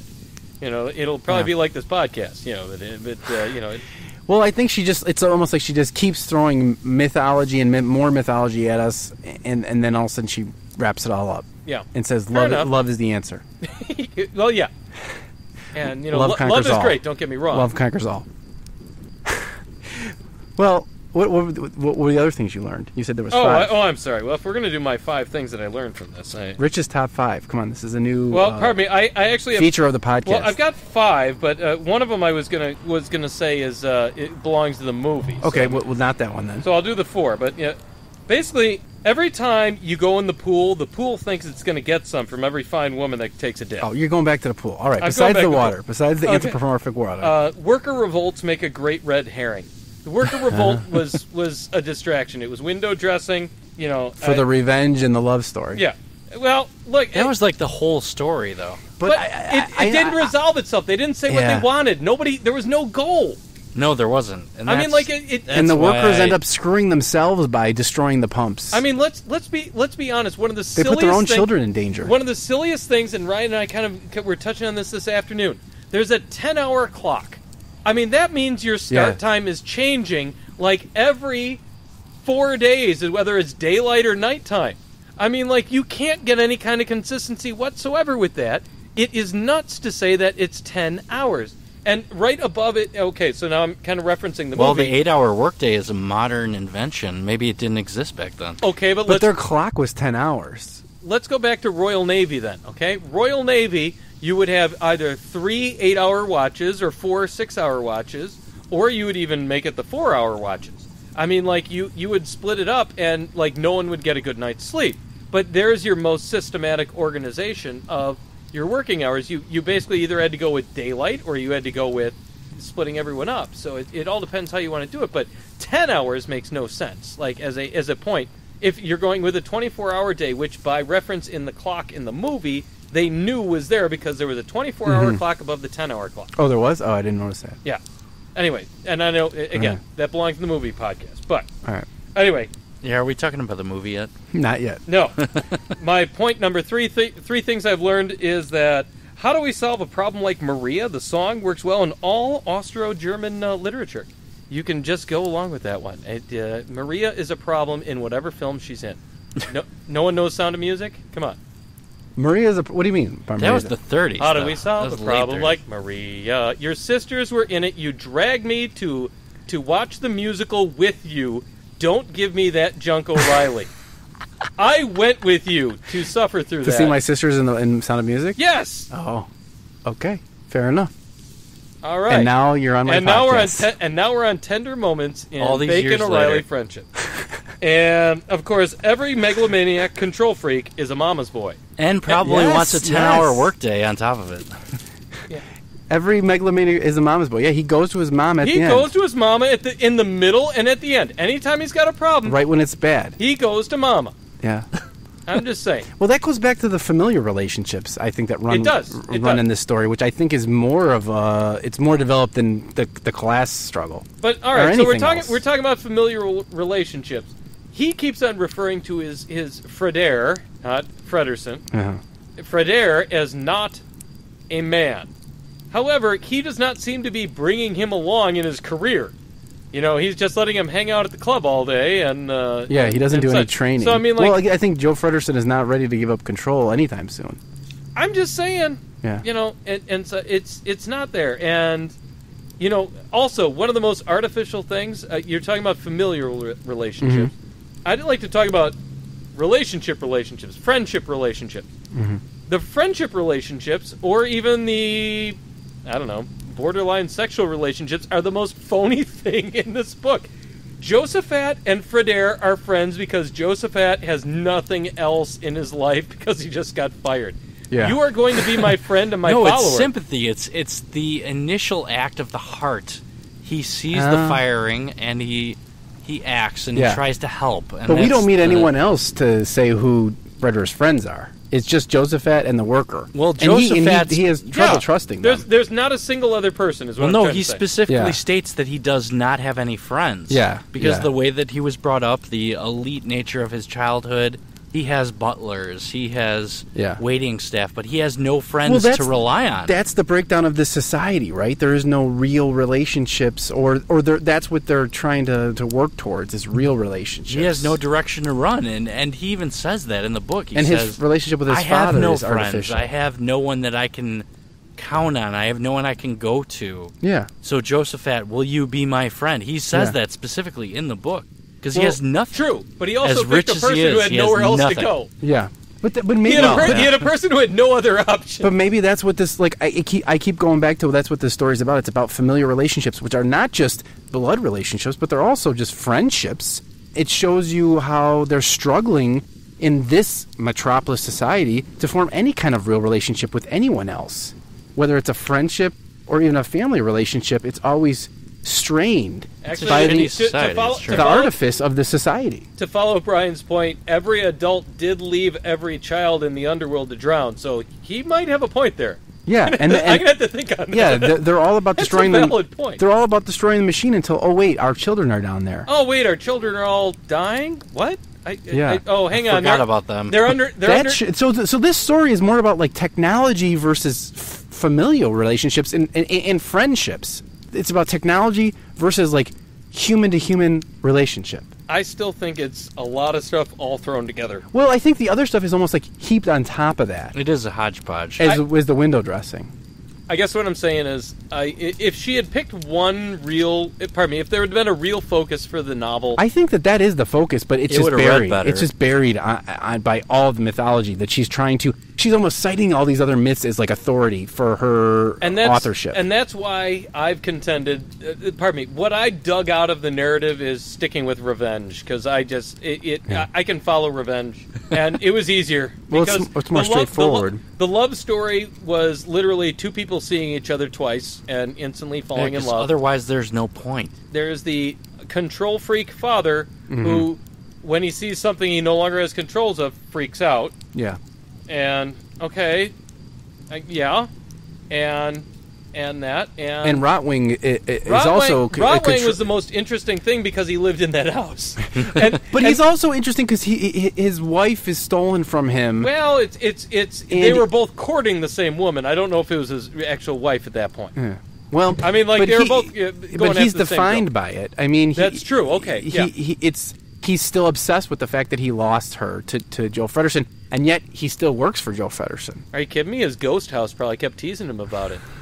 Well, and- and- Or how do we know the ghost house didn't let her out? Rotwang is a very interesting character because it's like he lost Hel to Joh Fredersen, but yet he still will work for Joe Fredersen, and yet he, he goes and lives this weird existence Well, in this and house. he used like that he's like robot to destroy everything. He- Right, He, right. used he used that. he used a non-familiar like relationship. He he created an artifice sort of born of Metropolis to cause more havoc. yeah, to undermine And- everything that was happening Yeah, in society. He and to mimic- it to create chaos in the working class and By it mimicking to familiar relationships. lust in the you know the superior class. Not just lust, but like he uses the robot to trick the workers by becoming their mother figure. Who Maria is their mother figure, so he uses the robot to mimic it. That shows you the whole artifice of Metropolis. I mean, I, I, I don't know. I feel like that's what this story is about. It's about the fact that this modern society is artifice. But this, but and unlike Tolkien, it's not like we need to be more pastoral to defeat this. It's no, we have to more get more in touch with each other as society, as people.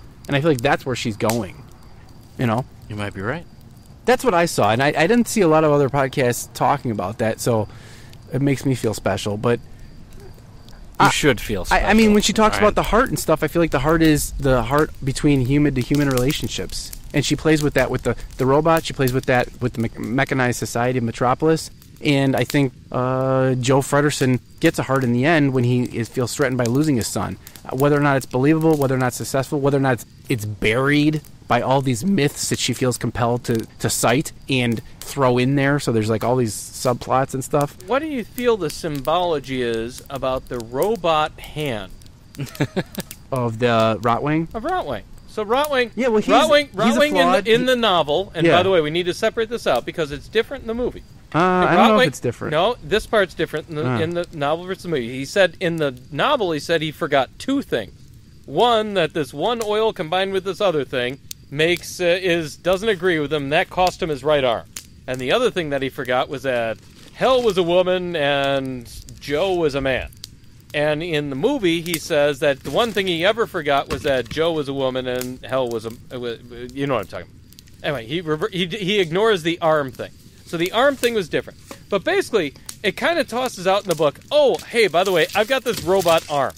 So it's kind of amazing that one, this guy's got a robot arm, but then two, it's also kind of like one of those things that that Beam talks about where we don't know the history of it. Did he learn how to build robots because he built himself a robot arm, or or things like that? So basically, he he managed to turn himself into this into half of the city where he's got machinery himself, and then you've got a person, and you've got the person that is Rotwang with his robot arm strangling Joh Fredersen's son on top of the thing, and on top of the cathedral. So that's where I'm going with the symbolism. Is what do you see in that, if anything? Well, I think it goes on to what I was saying in that Rotwang is a flawed character. I, I mean, I feel like I have some sympathy for him because he's been jilted by Hel and, and by. Uh, When you it- say flawed character, do you mean he's designed to have flaws, or do you mean that, or, or how do you mean that? be, because he becomes part mechanized himself Yeah. in the hand, he becomes less human and he has less ability to relate to people. He can't overcome his. I'm not sure he's ever overcome any of his losses. Yeah. Anyway, but I'm just, I'm just. Yeah, and, and, and he's flawed. He almost has And- the inability. He's becoming more robotic, more mechanized. He he is rejecting Metropolis, but he is Metropolis.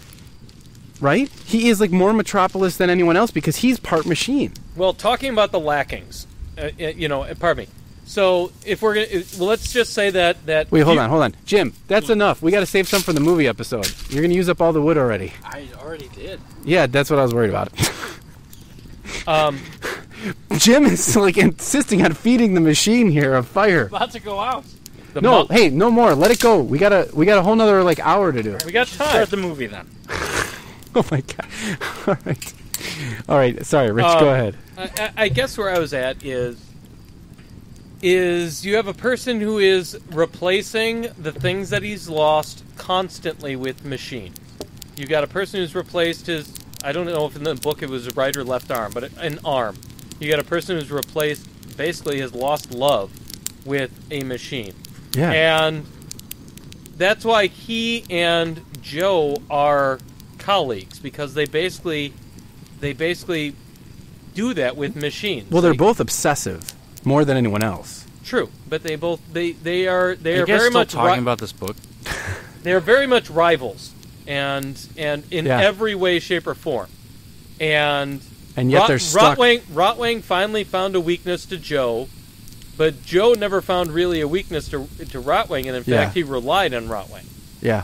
Anyway, Yeah, yeah, he does. and that and, he- again, that's that's that's again, it's just one of that's those. what makes Rotwang interesting is because he, he he's got nothing left to lose. Yeah, I You know? guess. But I mean, like as as as we said, it's the most the most interesting parts of the book are Rotwang. That's why I'm just rooting Yeah. for Rotwang. You know what? I and But he doesn't like he Team Rotwang. he loses in the end though, right? I guess, but I mean, like, who wins in the end?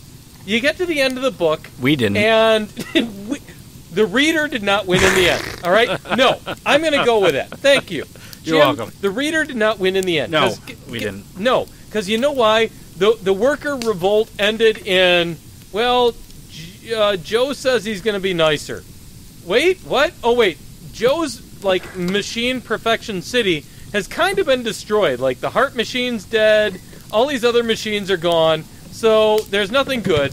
Oh nothing wait, good. The under you're, you're right. There's nothing good. It's the like un- the undercity is flooded. Yeah. So oh, are you going to pump it out and con everyone to go back down? All right, we cleared it out. Everyone get Yeah, back. yeah, no, no, no, it's my no, turn. get back- you know, No, they're we all don't get- win. There, it's like There's- at the end there is no winner. There's just a bunch of chaos The and random win- yeah, the la- only winner layers of story. hey, there are fireworks over there, like good fireworks. Oh yeah, you're right. About time something exciting oh, happened Oh, wow. on this podcast. How All dare right. you? Well, let- you know what? Let's let's leave things here with the book. All right. No. All right. I'm gonna Let's talk more. no. We're we're gonna I'm gonna move on and we're gonna give our final comments and our star ratings. Okay.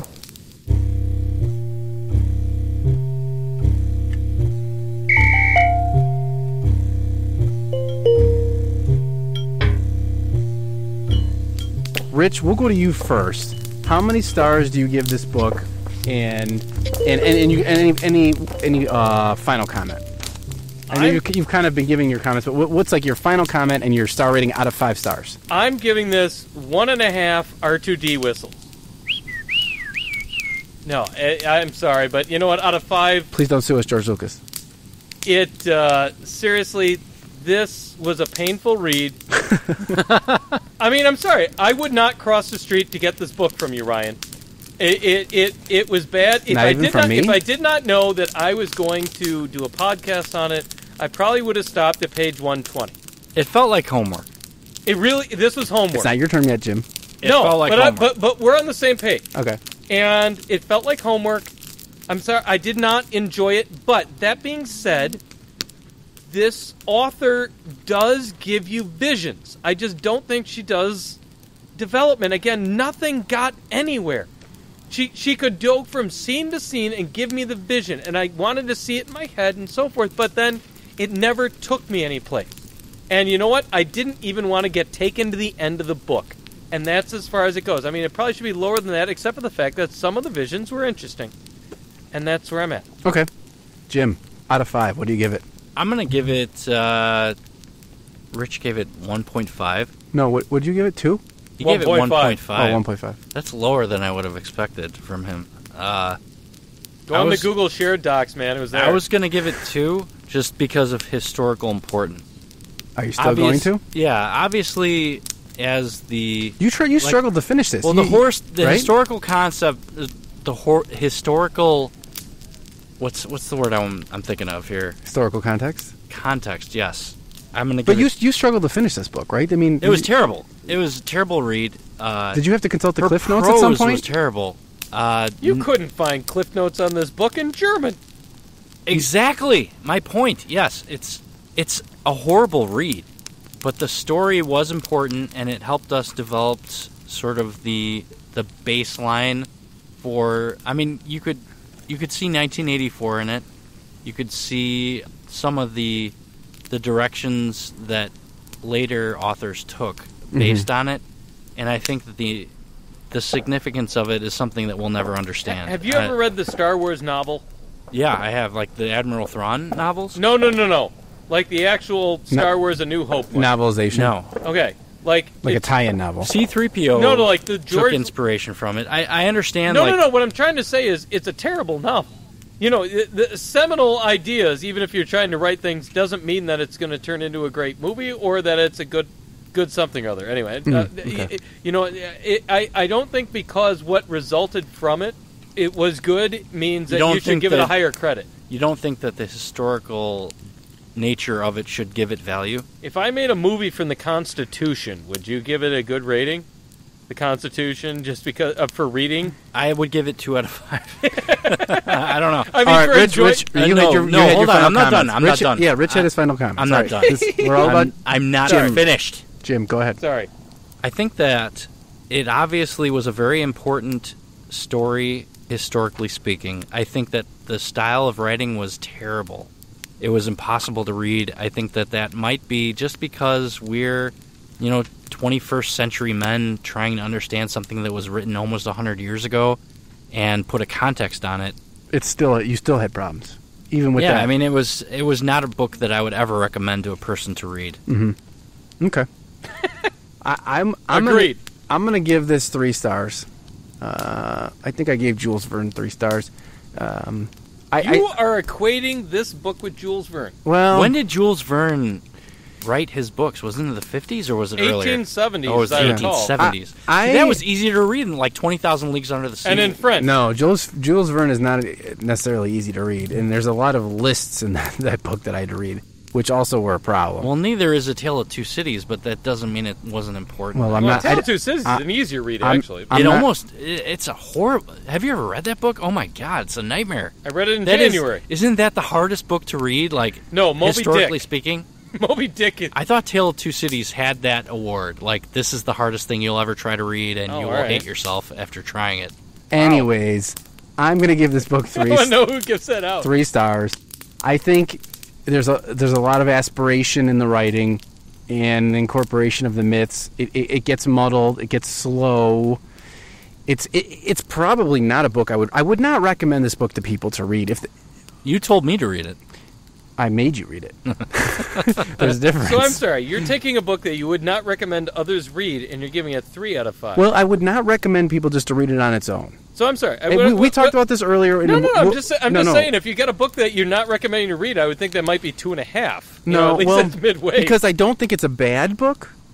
okay, um, but I I didn't love it, and I I would recommend it for people that are willing to put the time in and open themselves to it. So- but I would not just generally recommend okay, this book fair to enough. people. If you So know my- what I'm saying. That's fair enough. And and we're going to address this on the next Yes, podcast. yes. And and and, And I think will- you had a good I point will about probably that, yeah. completely contradict myself, but my question for you gets to be though is since I'm new to this podcast, what's the lowest rating you've ever given to a story on this podcast, and what was it? Oh, I can't remember, but I don't go too much below three.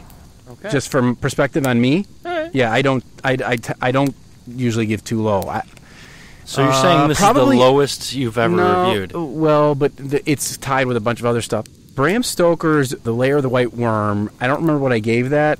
Mm-hmm. If I gave that the same amount, I'd have to look. Okay.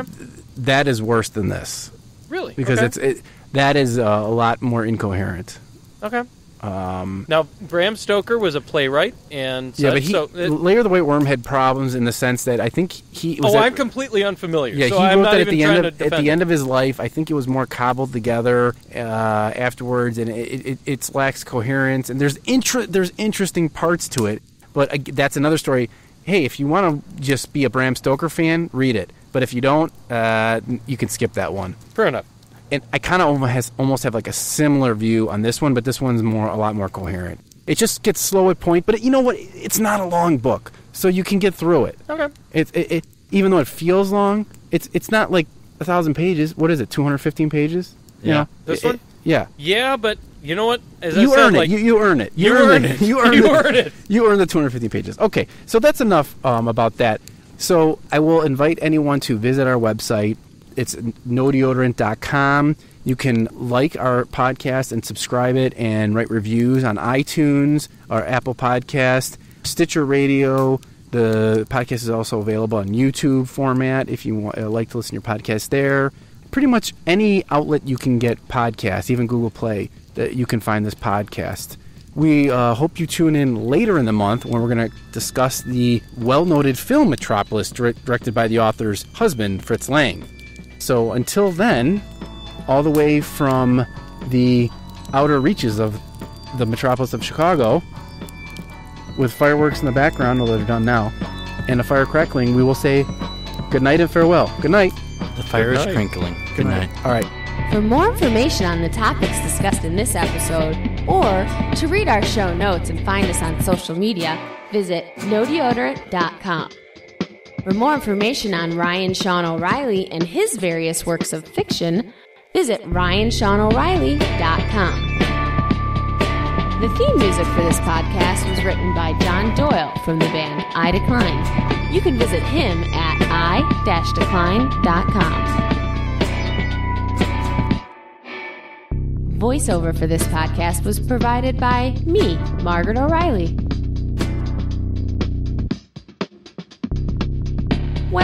That concludes our episode. We hope you've learned a lot. Again, thanks for listening to our show. And always, always remember there is no deodorant in outer space.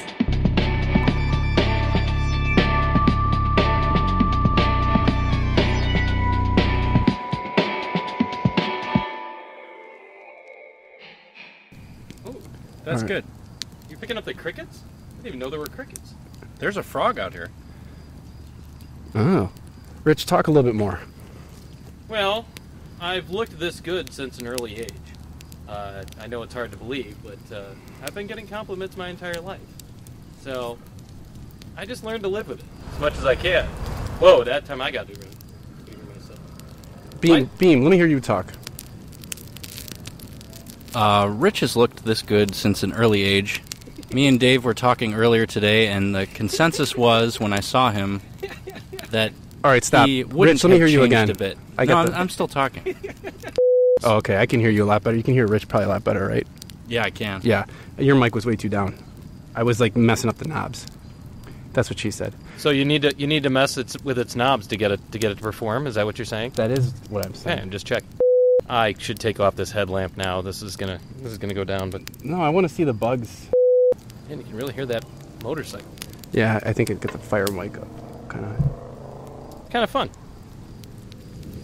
Hopefully, it's not getting singed. Oh yeah. I want to check and see. All right, yeah, maybe I'd better do this since it's not mine. They'll appreciate that. Uh, she eventually. Dead air. Dead air. I'll, I'll cut all the dead air out. Don't worry about that. Do you like to edit the good stuff out? Yeah.